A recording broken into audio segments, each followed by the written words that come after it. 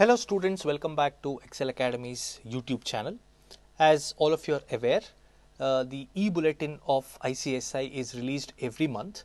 In this video, we are discussing the sample questions related to economics and business environment, questions related in the July month's e-bulletin. Let's start with the first question. No change in consumer preference is the assumption of which of the following laws? So, here uh, it is applicable to the law of demand because uh, law of demand keeps everything constant. It is called ceteris paribus and we discuss the relationship between price and demand only.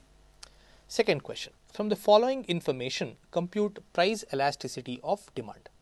Now, the data is uh, given to us. It says that original quantity was 20 units and uh, change in quantity is 10 units. Now let's remember the formula to calculate elasticity of price. The formula is uh, percentage change in quantity demanded divided by percentage change in price. So if you look at this, it says that it was 20 and uh, now it has become 10. So the change is 50% divided by original price was rupees 50 and now it has become 40. So it is 40%. Uh, so let us take 40 in the denominator. So what happens now 0 0 will get cancelled 4 ones are 4 1.25 times. So the answer for this question would be 1.25 that is option D. From the following information calculate GDP at market price. Now GDP at factor price is factor cost is given as uh, 200 crores, indirect tax is given as 50 and uh, subsidies is given as 20.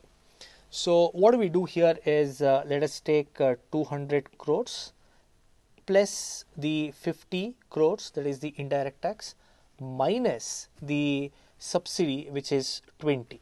So it becomes 250 minus 20 so it would be 230 crores. So the answer for this would be 3B. Right, let's proceed ahead. Question number 4. All revenues raised by government, money borrowed and receipts from loans given by the government flow into dash account. It flows into the Consolidated Fund of India. Fifth question. The proposals of government for levying of new taxes, modification of existing tax structure or uh, continuance of existing tax structure beyond the period approved by parliament are submitted to parliament through anything related to taxation is always presented to the parliament through the finance bill the sole national reinsurer company in India is answer is GIC, but everything is GIC here. So the answer for this is General Insurance Corporation, which is option C.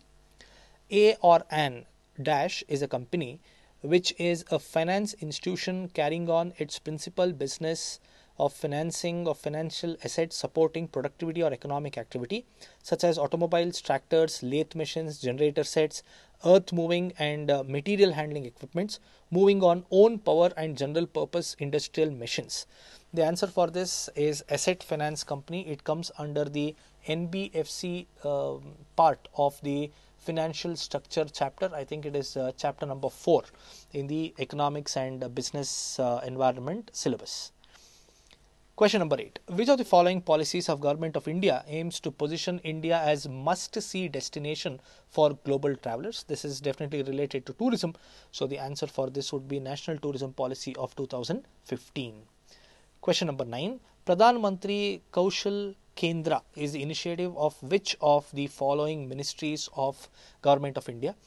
Uh, Kushalata, Kaushal, all these things will uh, roughly get translated to English as skill.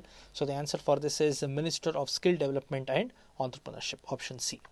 The last question in the series, the E form agile is related to option number A, that is application of registration of goods and services tax identification number. So these were the 10 questions which featured in the July month's e-bulletin of ICSI. If you have any questions or doubts that you want to get uh, cleared, please leave your doubts or questions in the in the comment section and we shall get back to with right answer. Thank you very much